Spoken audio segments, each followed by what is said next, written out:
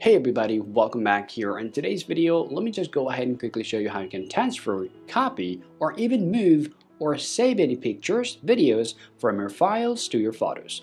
There are certain situations when you're just trying to find out your you know particular pictures or videos on your photos, maybe you don't get them. But when you open up your files, you pretty much get them from there. Now if you want to just literally get them on your photos from your files on your iPhone with the latest iOS, then you gotta watch this video to learn how quickly you can do that.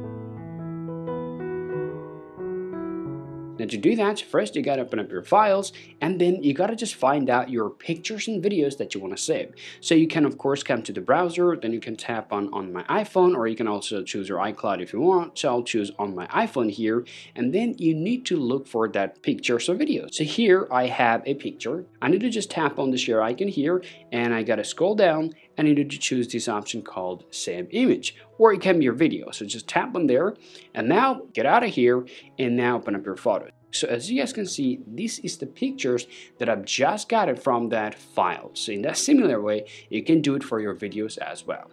So this is how you guys can save or copy or transfer even move pictures or videos from your files to your camera roll or the gallery on your iPhone Hope you found this video useful. If you think so, drop a like and subscribe to the channel. Thank you for watching, and I'll talk to you later.